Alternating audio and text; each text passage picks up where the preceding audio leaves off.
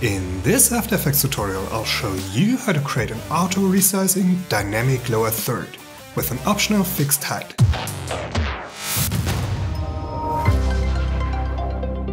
Hi guys, my name is Manuel. With a lot of dynamic lower thirds you run into issues with descenders for example, and in my experience a lot of them need to fit into a design grid and therefore need a fixed height. We'll solve all that so I highly recommend you stick around till the end.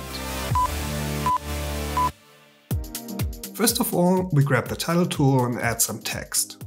Content for our lower third. We make sure the text is aligned to the center and we center the text layer using the alignment tool. Let's go back to the character tool and make it all caps for now.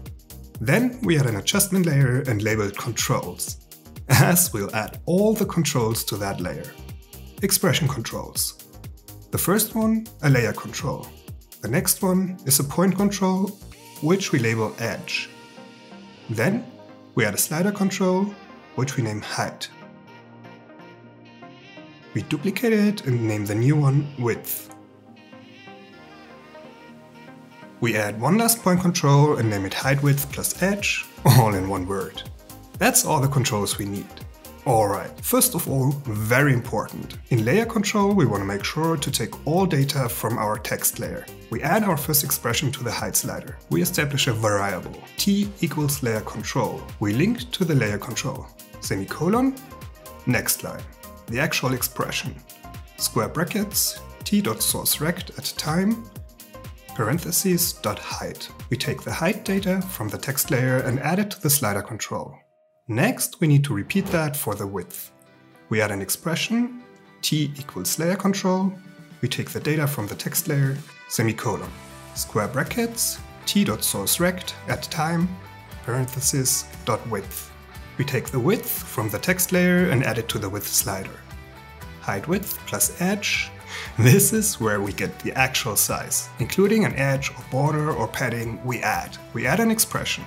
Square bracket, width, comma, height. Square brackets closed, plus the edge we want to add. Awesome! Now we've got the overall size of the shape we want to add behind the text. Let's actually make the edge smaller. 20 and 20 should be fine. Now let's add a shape layer. With no layer selected, we double click on the rectangle tool. That fill gradient looks nice, let's use it. Adjusting the ramp a little, we move the layer down below the text of course.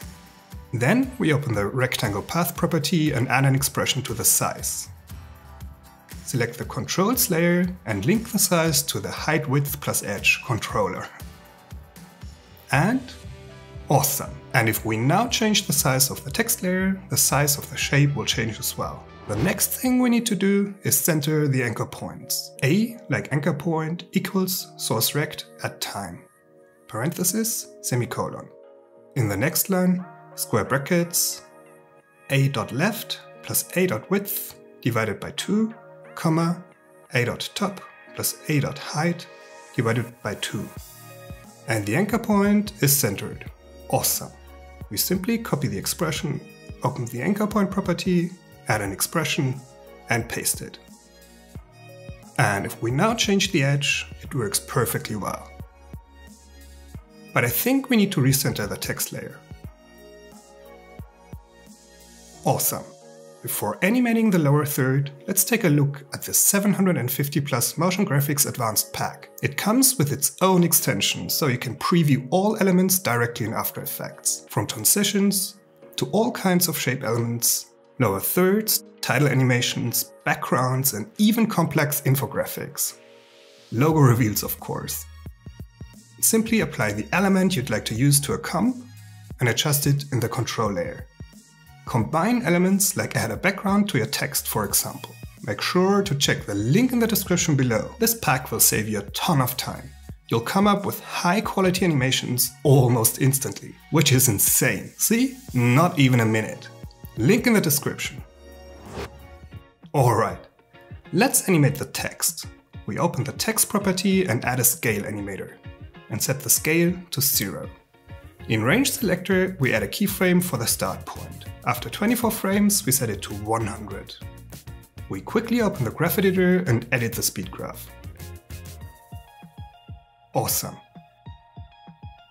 If we want the animation to be even smoother, we go into the advanced property and set based on to characters excluding spaces. If we want the text to be in upper and lower case, we run into issues. Like with descenders for example. The text block suddenly is bigger and the shape and the text layer jump. Let's change these four letters at the end. Okay, and that's better.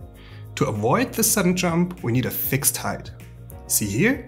That's what I mean. I quickly duplicate the comp. It's pretty easy. We simply delete the height expression and set the height manually. One issue left, as you can see. The text layer is still jumping. To prevent that, we use the fixed height to center the anchor point.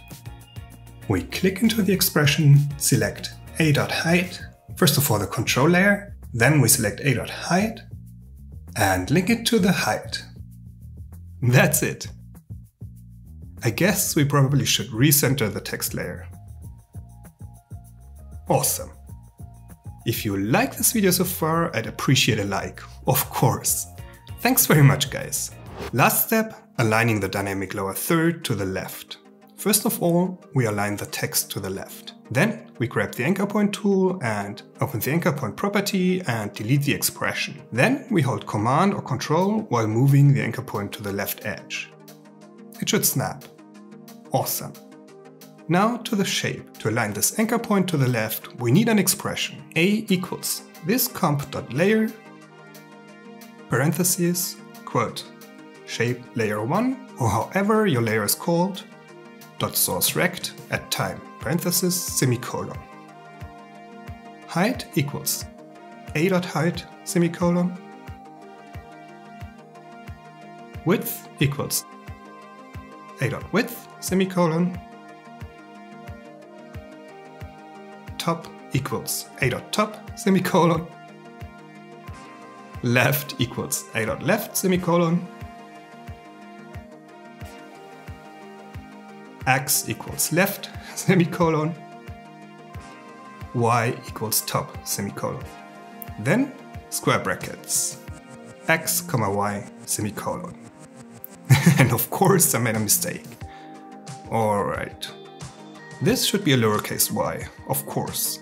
So you really need to be careful and get your spelling right. I found this on the School of Motion blog. There are many more expressions on how to set your anchor point. I've added the link in the description.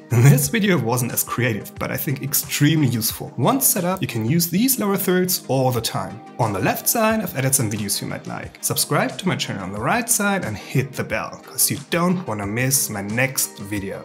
Thanks so much for watching this video. See you in the next video. Bye guys!